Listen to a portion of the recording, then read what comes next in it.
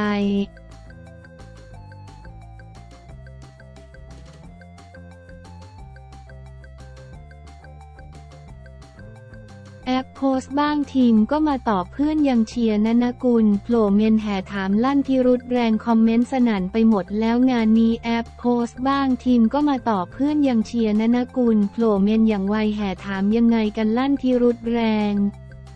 หลังพ่อของส้มทิมพิธาว่าที่นายกรัฐมนตรีคนที่ 30 ออกมาปลุกกระแสจิ้นโพสต์ภาพร่วมเฟรมแอฟ ทักษอรพร้อมลูกๆน้องปีใหม่และน้องพิพิมที่ได้มาเจอกันแล้วในงานหนึ่งเมื่อคืนวันที่ 20 พฤษภาคม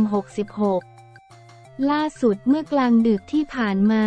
วันที่ 21 พฤษภาคม 66 แอปก็โพสต์บ้าง ภาพกับทีมพิธาและลูกๆ เช่นกัน พร้อมแคปชั่นยินดีที่ได้มาเจอและคอยอกันเมื่อวาน และยังได้แสดงความยินดีอีกครั้งกับชัยชนะครั้งประวัติศาสตร์ ทีมพิธา ด้วยว่าใน catching up with you yesterday at Team Pita Congrats again on your historic victory อ่านข่าวเปิดโพสต์นนกุลหลังคลิปเดินคุยแอป ถือผ้าคลุมไหล่ดับจิ้นทีมแห่ถามใครถ่ายให้ โดยทีมพิธาก็เข้ามาคอมเมนต์ตอบด้วยว่า ขอบคุณครับ ดีใจที่ได้เจอปีใหม่ด้วย ท่ามกลางกองเชียร์จิ้นกันรัวๆ ทั้งคนบันเทิงหรือแม้แต่เพื่อนนอกวงการของแม่แอฟ ก็เข้ามาคอมเมนต์เชียร์ด้วยไปอีกว่า มีเพื่อนเป็นดาราก็แล้วเป็นพิธีกรก็แล้วยังไม่เคยมีเพื่อนเป็นสตรีหมายเลขหนึ่งเลยอะรายการฝันที่เป็นจริงไปทางไหนคะ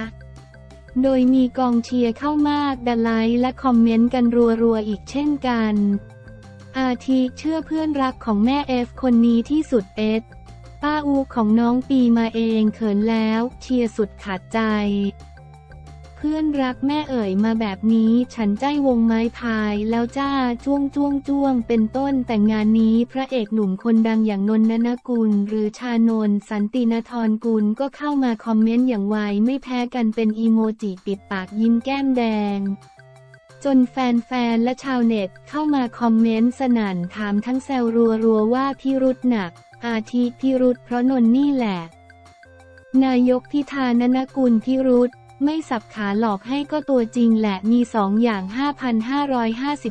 5,555 จุลภาค ฉันเห็นเธอไปด้วยนะ คนนี้พิรุธที่สุดเอ็ดเป็นต้น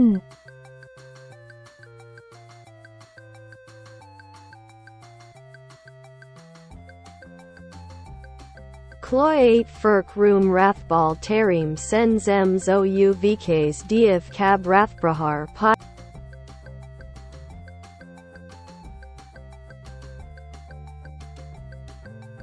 ลุย 8 พักร่วมรัฐบาลเตรียมเซ็น MOU เลือกเดียวกับรัฐประหารปี 57 แม้ว่าก้าวไกลจะชนะการเลือกตั้งได้รับเสียง 152 ที่นั่งตามมาด้วยเพื่อไทย 141 ที่นั่งทำให้คะแนนเสียงยังไม่พอในการจัดตั้งรัฐบาลพักเดียวต้องจัดรัฐบาลผสมเพื่อให้ได้เสียงเกินกึ่งหนึ่งของสภา เป็นที่มาของการลงนามในบันทึกความเข้าใจ Memorandum of Understanding ระหว่างพักร่วมรัฐบาลโดยขณะนี้มีพักเข้าร่วมรัฐบาลคือพักก้าวไกล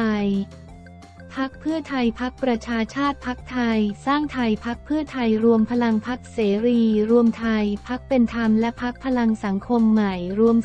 314 เสียง และยังมีพักใหม่และพักครูไทยเพื่อประชาชนที่ออกมาระบุว่า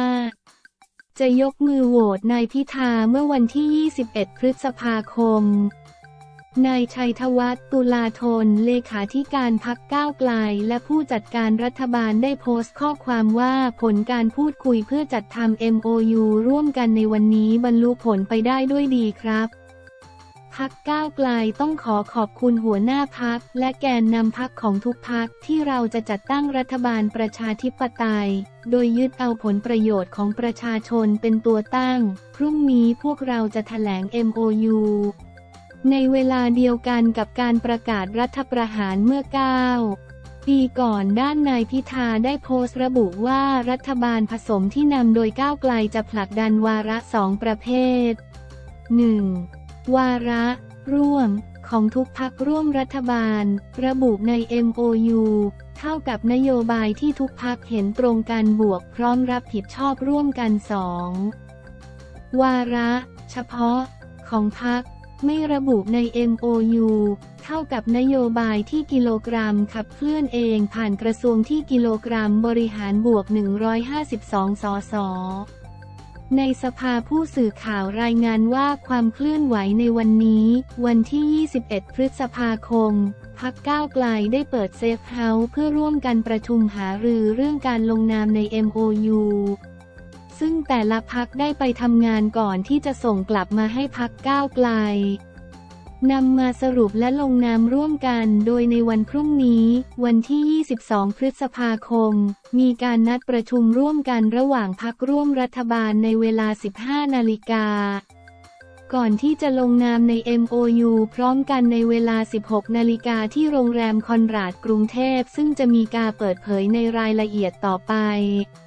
โดยทั้ง 8 พักได้ร่วมแถลงจัดตั้งรัฐบาลของประชาชนร่วมกัน โดยมี 3 ข้อคือ 1. ทุกพักเห็นชอบที่จะสนับสนุนหัวหน้าพักก้าวไกลพิธาลิ้มเจริญรัตเป็นนายกรัฐมนตรีคนที่ 30 ตามเสียงข้างมากตามผลการเลือกตั้งของประชาชน 2. ทุกพักจะร่วมการจัดทำข้อตกลงร่วม หรือโมในการจัดตั้งรัฐบาล พื่อแสดงถึงแนวร่วมในการทำงานร่วมกัน และวาระร่วมของทุกพัก และจะแถลงต่อสาธารณะในวันที่ 22 พฤษภาคม ที่จะถึงนี้เพื่อแก้ไขวิกฤตทางการเมืองเศรษฐกิจและสังคม 3. ทุกพักจะจัดตั้งคณะทำงานเพื่อเปลี่ยนผ่านรัฐบาล เพื่อเตรียมความพร้อมให้สามารถบริหารราชการแผ่นดินต่อจากรัฐบาลเดิมได้อย่างไร้รอยต่อ ด้วยความเคารพต่อเสียงข้างมากของประชาชน อย่างไรก็ตามก่อนหน้านี้พลตำรวจเอกเสรีพิสุทธิ์เตมียเวทหัวหน้าพักเสรีรวมไทยได้ระบุว่าอยู่ระหว่างพิจารณาเนื้อหา MOU และจะส่งกลับไปแก้ไขโดยมองว่า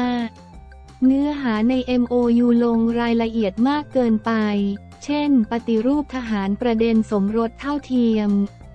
ประเด็นสุราก้าวหน้าแต่ไม่มีประเด็นมาตรา 112